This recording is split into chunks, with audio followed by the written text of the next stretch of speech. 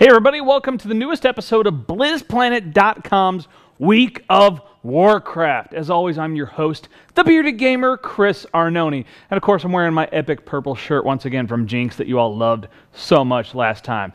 Let's get right into that weekly news roundup.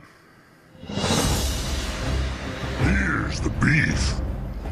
So first up, a little new patch, of course, once again for Miss Pandaria Beta. This time is introducing the Townlong Steppes zone into of Pandaria. Now, this zone is filled with these hills and cliffs that are being overrun and invaded by the Mantid, which are these sort of anthropomorphic roach things that are originally from the Dead Wastes.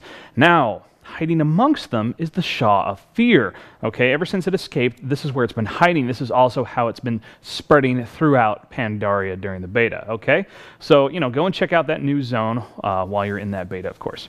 Uh, next up, little data mining. There is a black market auction house on its way. Now, MMO Champion has done a little bit of data mining and found this black market auction house in the code from the Mists of Pandaria beta. Now, what it allows you to do, it's, it's where you can buy rare items, mounts, pets, recipes, all sorts of things. Um, but these things do cost a lot of money. Some of these items are 10,000 gold or higher. But here's the kicker. Included in this, from what they've seen, are old items that no longer appear in the game. For instance, the Tier 3 Naxxramas sets, which, of course, are now retooled as Tier 7 after Wrath of the Lich King. So you could actually get that original Tier 3 gear uh, that you can no longer get. So it could be a great opportunity for new players to go back and get old old items or you know for long time players that never got around to getting a certain you know item or set that they were going after to go back and get that so long as you're willing to throw down a lot of in-game gold. All right, so a World of Warcraft guild has become the first to kill the Skeleton King on Inferno setting. That's right. So, of course, the WoW players, they're so organized. You guys got together and went and knocked this thing out first. Uh, basically, Elite WoW Guild Method decided they wanted to get some world first in Diablo 3. Guess taking a break from World of Warcraft for the moment. And so they were indeed the first people to go at Inferno level and kill the Skeleton King, which if any of you played the beta or you've started playing the full game, he's like the first kind of major boss battle in there. In the beta, he was the final boss battle, and he is, you know, still pretty much the first big boss you fight going through the main game itself. Uh, so they did this in just two days, which is, I mean, that's just crazy. But keep in mind, this is a hardcore raiding guild. They're very accustomed to these big battles. They're organized. They're used to communicating well. Uh, so, you know, they know how to work with one another and do this. And they said, they actually said that the difficulty is so high on Inferno level that it's going to take quite a while before your average gamer, your non sort of hardcore raiding, uh, you know, a guild that's been together for a while, everybody else can actually get to the point where they can take down the Skeleton King on Inferno setting. So just just crazy. Look at WoW taking over Diablo 3. All right. So now some of you may have heard about this that Thrall may not be the new war chief. Now. A little background on all this, of course. Thrall, for a long time, was the war chief of the Horde. But when Deathwing came and broke the world, he went off to try and, you know, fix the world, and he indeed did kind of save the world. And in his place, Garrosh stepped up. But everybody hates Garrosh. Players, you know, he's screwing things up. Inside there, he's escalating the war with the Alliance, uh, uh, which is all going to come to a head, of course, in Mists of Pandaria.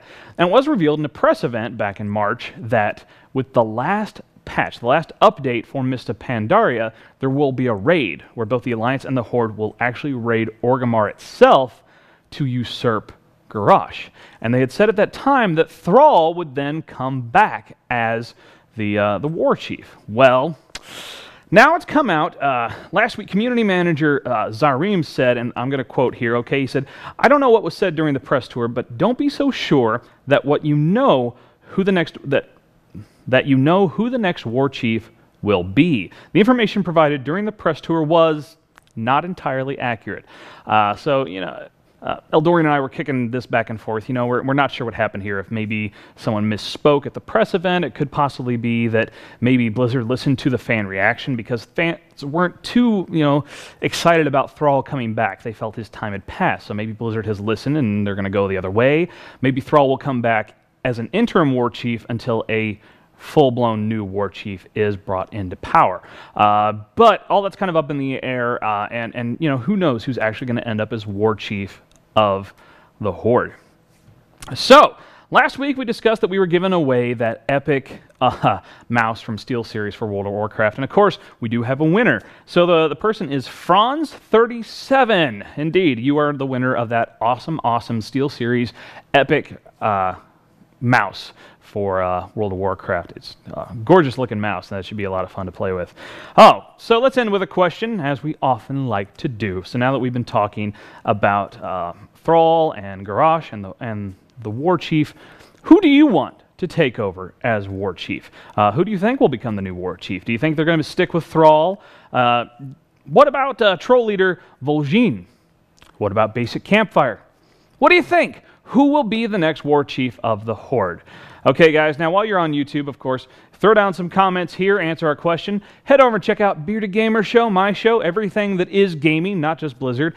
And of course, check out blizzplanet.com, all the news, reviews, great community, everything you need to know about Blizzard Entertainment games. We'll, check, we'll catch you next, next week.